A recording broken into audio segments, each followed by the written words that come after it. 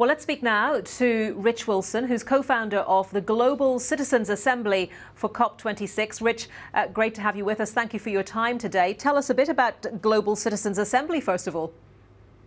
Well, yeah, so the Global Assembly is the first ever Global Citizens Assembly. And it's like a government, if you like, or a a, a, parliament that's made up of ordinary everyday citizens from across the world. There's two parts of it. There's 100 citizens, which is an accurate snapshot of the global population by gender, age, geography, etc. Um, and then there's community assemblies that anyone can run anywhere. And the really key thing for us was that anyone on earth could be selected and anyone on earth could be involved. And so tomorrow, the recommendations, the declaration of the first ever Global Citizens Assembly will be announced at one o'clock um, at COP. And it's interesting to hear people talking about the political constraints, hearing your um, correspondent before saying how um, physics doesn't care about climate politics. Well, what we're noticing through the the discussions of the Global Assembly is that the citizens feel really liberated. They are not, they are, they are really liberated from the constraints of the past, and we're really looking forward to seeing their proposals tomorrow. Okay, can you give us any sense of what those recommendations made by uh, the members of the Global Assembly who will be here at COP, what those are going to be? Unfortunately, I, that's the one thing I can't speak about. Um, they will be announced. Um, I, I, don't want tomorrow. to. I don't want to steal your thunder. I don't want to steal your thunder from tomorrow, Rich. That's absolutely fine. Um, uh, so it's going to be really interesting to have these individuals from around the world attending COP. Do they have any sense what to expect and how they're going to get their voices across, make themselves heard, because you know you have a sense of meetings going on, diverse meetings going on, with potentially in any one meeting uh, hundreds of different views, trying to to make themselves heard.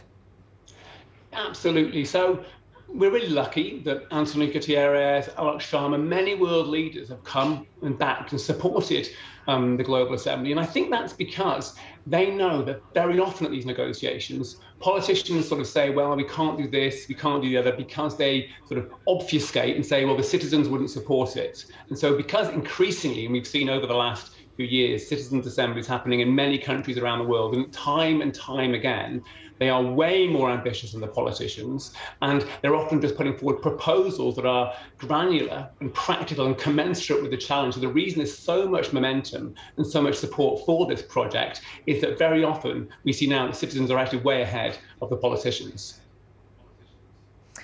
Uh, a little earlier, we touched just very briefly on the idea about individuals, and, and, individuals looking at COP26 might seem or might feel slightly overawed by this and the scale of it. We're talking about governments, we're talking about global corporations, and ask, you know, what can I do?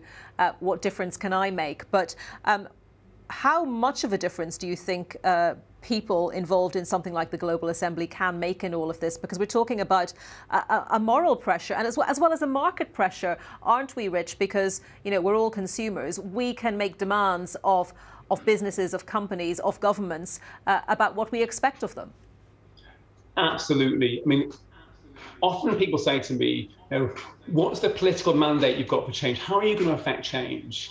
And what we've noticed is that the moral authority that these citizens have is incredible. Um, they are unconstrained in terms of the funding. We're not allowed to receive any funding from anyone to influence the process anyway. It has to be 100% set by the citizens. But, all, but also, citizens have got real power. They've got power to change their decisions in the market, their behavior, but also they've got the choice to elect or not the politicians who will be speaking tomorrow. And I think what, what's one of the really important messages about tomorrow is, is that this is the start of a new piece of global governance infrastructure. So from now on, there's going to be another thing in the mix. There'll be the COP processes, the UN, the nation states coming together after the, uh, the Second World War. And today and tomorrow, there will be the Global Assembly coming together for the first time for everyday citizens from around the world to come together and to meet crises the world faces. And of course, the crisis we're interested in now is the climate crisis. And if you just think of the awesome power of humanity and the critical role we play, to be at the negotiating table around climate. It's critical, and it's about time, really, that the citizens were invited to the table. So project forward to uh, the 12th of this month, perhaps uh, mm. a hmm. day later if it slips a little bit. Um, what for you at that point will represent a successful COP26 for the Global Citizens Assembly? So It would be, I think, that the if, if the um, proposals, the statement that comes out tomorrow, is matched by and met by the leaders. So if the leaders are able to at least enter into a dialogue with the citizens, I'm not saying it is likely, I would imagine, that the citizens will be ambitious. They almost always are. And politicians often find the ambition hard to meet because they're constrained by what you might call traditional politics. I thought um, I thought Victoria Gill put it very very well in terms of the fact that they're constrained by the reality of politics.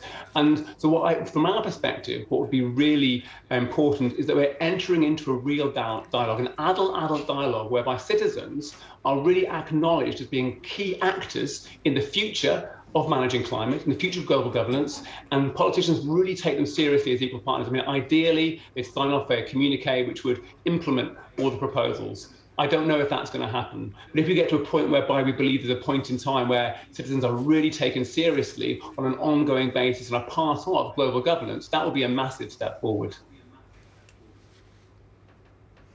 Rich Wilson, co founder of the Global Citizens Assembly for COP26, thank you very much.